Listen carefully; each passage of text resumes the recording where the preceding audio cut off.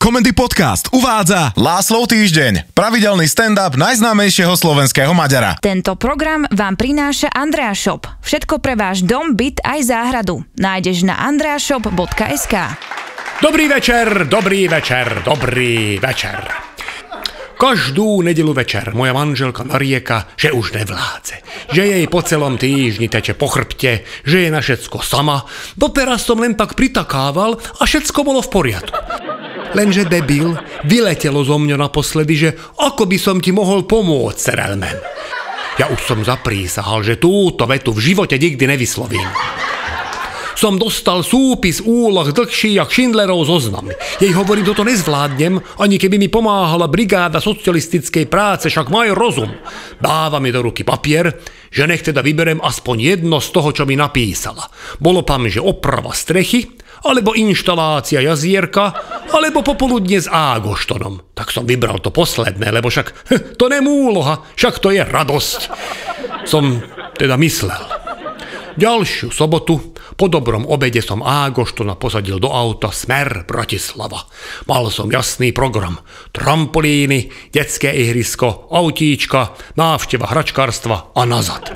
Ledva som zabočil zo záhrady na cestu, Ágošton dogrcal. Si tak vravím, dobre, trampolíny škrtáme. Volám Ildiko, že čo mal malý na obed. A ona, že čo tak pýtaš, hlúpo lacikám, však ako vždy, to čo všetci. Blvanček od Ágoštona, ktorý siahal od zadnej časti spolujazcovho sedadla cez pravé bočné okno až po predné sklo, bol týmto vysvetlený. Bravčové koleno Ágoštonovi zjavne nesadlo. Ale inak ani mne. Lenže vzhľadom na to, že ja konzumujem jedlo od Ildiko už nejaký ten rok, tak mňa len tak jemne prehnalo. Dal som auto na kraj cesty pri autobusovej zastávke. Minul som všetky vlhčené servítky aj gázu z lekárničky. Vystriekal som auto sprejom na komáre, lebo iné nebolo. Spotený som bol jak prasa, ktorého koleno toto všetko spôsobilo. Idem pohnúť ďalej, keď na mňa zo zastávky kričí stará dievka Madarásova, že Lacko, idete do Bratislavy. Kým som stihol čo povedať, už sedela na mieste spolujazca a že zveziete ma. Madarasová má asi 120 kg. A jak prudko nasadla, tak malého vzadu normálne vyhodilo zo sedačky a on úsmev veselý a kričí, že up, up. Tak tak hovorí trampolín. To je inak výborné, lebo ja hovorím s malým po slovensky, Ildiko po maďarsky a on v poslednej dobe s nami po anglicky. Lebo kuká tie Wheels on the bus a podobné hovadiny. Mu vravím vydržfiačkám, to ešte není sme up, to len teda Madarasová nasadla. Pohli sme. Periférne vidím, ako na mňa Madarasova pokukáva a zrazu z nej vyšlo, že máte nový parfém Lacko. Fakt som nevedel, čo na to povedať, ale ona išla ďalej, že taký odvážny, jemne korenistý, pikantný, ale velice intenzívny. A že čo je to za značku? Hovorím Mosquito Forte. A že by to chcela kúpiť bratovi, že ako vyzerá tá flaška. Hovorím, je tam taká divá svinia a pod ním sú dve šable. Začala ma chytať migréna. Do toho zápcha v Dunajskej Lužnej. V aute 50 stupňov, lebo klimatizáciou nejde. K tomu zápachový mix detskej grcky, spreja na komáre, vlhčených obrúskov a tak trošku aj spotenej Madarasovej a zozadu neustále zvyšujúcim intenzitom ozýva, že up, up. Kým sme vystúpili pred Auparkom, tak som mal pod pazuchami na tričku také mapy, že Mongolsko naľavo, Francúzsko napravo a v strede na hrudi neviem, čo to bolo. Kanada. Hovorím fiačkám, apuci musí ísť kúpiť nové tričko, lebo takto nemôže medzi ľudí a on, že up, up. A hovorím, kašlem na to. Aj tak na trampolíne spotím. Zaplatil som mu na 15 minút, že oddychnem trošku. Posadil som vedľa neho na trampolínu. Na vedľajšej trampolíne dajaký puberťák zakričal, že skúsim salto. Aj skúsil. Aj mu vyšlo. Akurát, že dopadol vajcami na môj krk. Keby sme boli v cirkuse, pak nám aj zatlieskať. Lenže mne teraz zahblelo pred očami. Ešte som počul, jak mi povedal, že sorry, dedo. Prebral som na tráve vedľa trampolín v ruke infúzie zapichnutá. V panike pýtam, že kde mám syna a oni, že pokoj, dedo, ešte skáče, to máte ako odškodné. Sa pýtam, že ako dlho tu ležím a že asi tak hodinku. Skúsil som posadiť, asi po 5 minútach mi aj podarilo, motalo mi hlavu, srdce mi búšilo jak pred prvým sexom. Hovorím, čo ste mi dali do tej infúzie Red Bull so Sputnikom. Po pol hodine som dajako pozviechal, doniesli mi si na trampolíny, Skoro dve hodiny up, up spôsobilo, že plienku mal na kolenách, zo slnka bol v tvári červený, jak Fico na tlačovke. Celý horel, hovorím, však doneste mu vodu, veď skolabuje. Napravil som mu plienku, on vypil pol litra vody, len tak zadymilo okolo neho. Si vravím, dobre, prežili sme, ideme domov. Lenže malý satan ožil. Ukázal na elektrické autíčka a že brm, brm. Našťastie bol voľný nákladák, čo má aj strechu aby bol v tieni, malý už sedel dnu, slečna mi dáva ovládačku a ukazuje mi, že týmto točíte doprava doľava a týmto idete dozadu dopredu. 5 eur na 10 minút. Kým som vyberal peniaze. A Goštonovi dajako podarilo pohnúť aj bez mojej ovládačky. A kým som chopil ovládačku, už to narval do mamičky, ktorá akurát niesla na lavičku kávu. Teda dve. Tú druhú takému dvojmetrovému fešákovi v teplákovej súprave si vravím, toto není dobré. Vonku 35 stupňov a on v teplákoch bude nervózny. Aj bol. Zakričal na celé ihrisko, že ktorý ko riadi ten nákladák. Otočil som úplne k inému autíčku s takým dievčatkom a tváril som, že riadím ju. Lenže teplákový muž ide k nákladáku a pýta Ágoštona, že kde máš otecko. A teraz mi toto vysvetlite.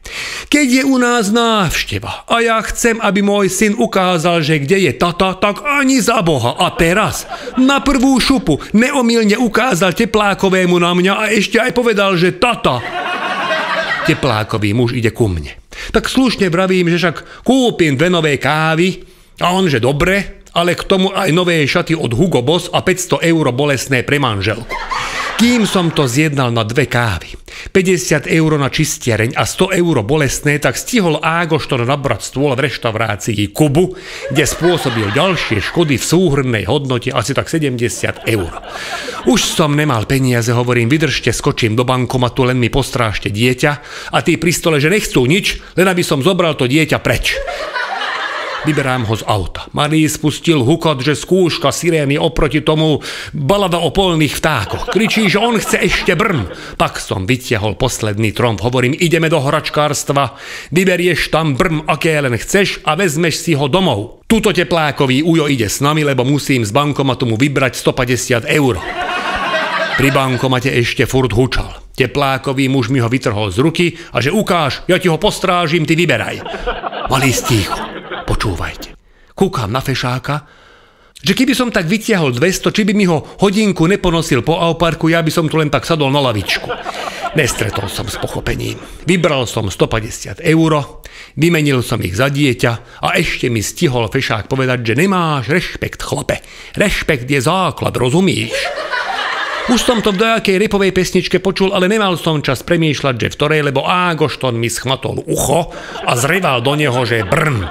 Ale takým intenzitom, že mi v tom uchu na pár hodín vypol nahrávanie. Ale aspoň už neplakal. V obchode vybral červené autíčko za 15 eur. Si vravím, že som ešte celkom dobre obišiel. Idem platiť pri pokladni, predavačka, že máte vyčerpaný limit na karte. Volám Ildiko, že aký mám limit na kreditke, ona že 150 eur.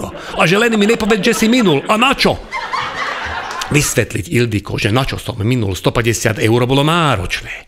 Ale vysvetliť Ágoštonovi, že to autíčko, ktoré už držal v ruke a usmieval pri tom, že bude musieť vrátiť, na to som nemal odvahu.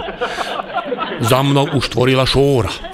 Už som zvažoval, že schmatnem Ágoštona aj s autom a že zdrhneme, keď som cez výklad zbadal moju záchranu žužu.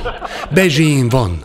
Hovorím fiačkám, ty tu stoj, ja hneď vrátim. Dobehnem žužu, chytím ju za ruku a vravím Zuzanka, tak rád ťa vidím, prosím ťa, požičaj mi 15 eur, vrátim ti 20. Žužu otočila a mňa normálne ovanula smrť. To nebola žužu ale tá podoba. A ešte aj volala, že Zuzana, lebo vraví, že my poznáme. Ja ticho. A ona ďalej dobieca, že odkiaľ viete moje meno. Ja som len preglgal a nič. Vypnuté všetky zábity, mozog zastavený. Vypadal som jak poslanec vládnej koalícii po dobrej otázke redaktora. Utekám nazad do horačkárstva a ak už to na nikde, tak kričím, že kde mám syna a predavačku, že išiel za vami, ale aj s autom a ak to nezaplatíte, tak to je krádež. Ja už som stratil nerv, tak na ňu kričím, že mne zmizlo dieťa a vy ma tu idete obviniť z krádeže autíčko za 15 eur. A ona, že ja poznám tieto finty, vo mne nazbieralo všetko. Za celý deň. Smrad v aute, zápcha v lužnej, akrobatové vajcia na mojom krku, teplákový muž. Chytal som amok, keď v tom ozvalo hlásenie, že rodičia malého apoštola prosím dostavte na informácie.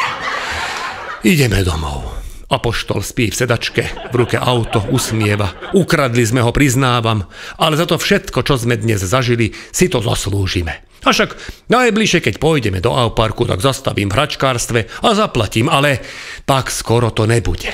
Blížime domov. Leje jak skrhle, v ďalke vidím Madarasovú s taškami ako teperí domov.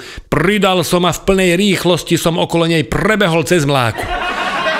Konečne som mal po náročnom dni úsmev na tvári. Toto mi chýbalo. Vám všetkým, milí oteckovia, želám, aby ste s vašimi deťmi všetko zvládli lepšie ako ja. Lebo môj deň bol, ako by som to tak... Koniec dobrý, ale inak všetko na hovno.